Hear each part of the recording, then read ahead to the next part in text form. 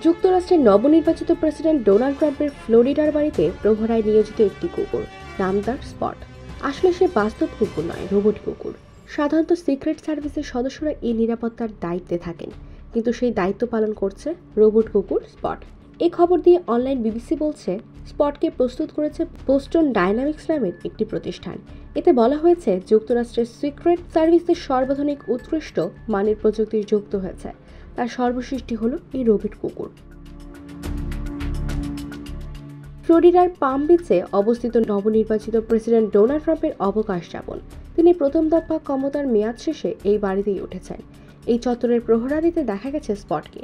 এমন বেশ কিছু কুকুর এই প্রহরা দিচ্ছে। তাদের কাছে কোনো অস্ত্র নেই। তারা কি কাজ করবে তা আগে থেকে প্রোগ্রামিং করা। প্রতিটি স্পটকে নিয়ন্ত্রণ করা যাবে রিমোট দিয়ে অথবা স্বয়ংক্রিয়ভাবে।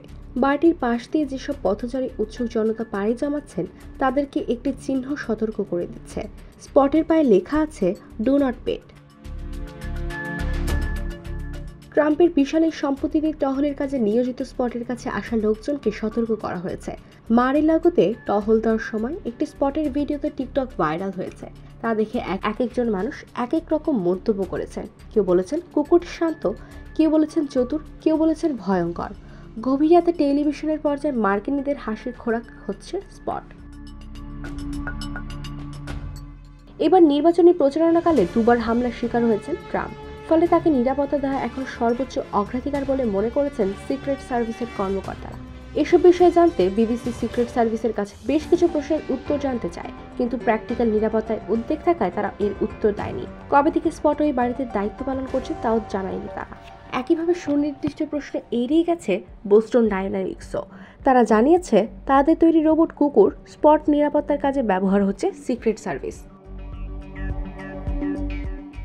বিশ্লেষকরা বলেন, ট্রাম্পের উপর হামলার ঘটনা সিক্রেট সার্ভিসের নিরাপত্তা সংক্রান্ত প্রযুক্তি হালনাগাদ করার প্রয়োজনীয়তায় বিষয়টি সামনে এসেছে, যাতে আগেভাগে ঝুঁকি শনাক্ত ও তার প্রতিরোধ সম্ভব হয়।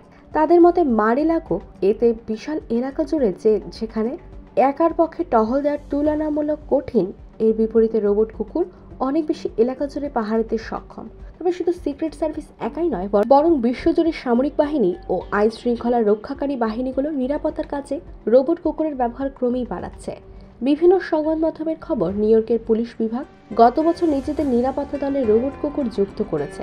অন্যদিকে রাশিয়ার সামরিক বাহিনীর সঙ্গে চলমান যুদ্ধে নিজেদের অবস্থান পুনরুদ্ধারে রোবট কুকুর ব্যবহার করেছে Ukraine.